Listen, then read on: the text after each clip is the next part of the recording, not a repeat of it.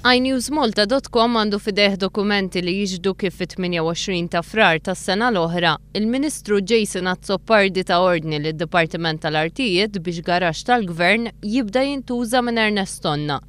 Il-garaxx huwa numru 86 fi Triq Melita l-Belt Valletta. Fit-talba tiegħu Ernest Tonna Kap tal-Uffiċjali tas-Sigurtà tal-Partit Nazzjonalista qal li xtaq din il-propjetà għax għandu problema ta' mobilità u dan il-garaxx jinsab viċin ta' fejn jgħix. Tonna qal li għalih mhux possibbli li jimxi fit-tul apparti li huwa anzjan.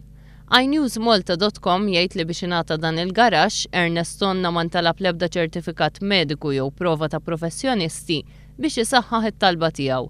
Ittra ta' tonna kienet biżżejjed biex fi Frar tas-sena l-oħra, il-Ministru Jason Azzopardi jbierek it-talba tal-kanvażer ewlieni ta' Ostingatt u jgħaddilu l-użu ta' dan il-garaxx li jesa' żewġ karozzi. Jason Azzopardi ffirma l-ordni minkejja li fid-Dipartiment tal-Artijiet kien hemm diġà l-ħsieb li dan il-garaxx joħroġ b'sejħa pubblika għall-offerti. Apparti Chief Officer fi Transport Malta u impjieg ieħor fil-Freeport Corporation, Ernest Onna għamel ħdax-il sena bħala Authorised Officer mal-Kumitat Konġunt tal-Kunsilli Lokali tal-Belt Furjana u Marsa. Huwa wkoll eks ġaketta blu u wieħed minn dawk li s-sajf li għadda kien involut f'diżgwid mal-persuni li kienu qed jakkumpanjaw lid-Deputat Indipendenti Jeffrey Pullicino Orlando